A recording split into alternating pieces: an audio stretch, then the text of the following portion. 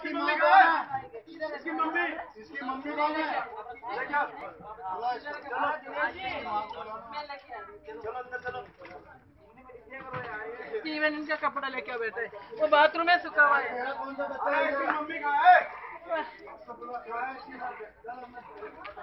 और दूसरे की मम्मी कहाँ दूसरे की? आज जीवन आशा छात्रावास से बच्चों को ले जाते हुए और बहुत ही गलत तरीके की, बहुत मिसयूज अपनी पावर का गुरुभूषण जी करते हुए, बहुत बुरी तरह से बच्चों को पेरेंट्स को परेशान करते हुए यहाँ पर जीवन आशा छात्रावास रायपुरा कोटा में। मैं राहुल गांधी जी से निवेदन करूँगा कि जल्दी से जल्दी इस समस्या का समाधान किया जाए। ईसाइयों को इस तरह से परेशान नहीं किया जाए। यहाँ पर ईसाई धर्म का कोई परिवर्तन नहीं कराया जाता।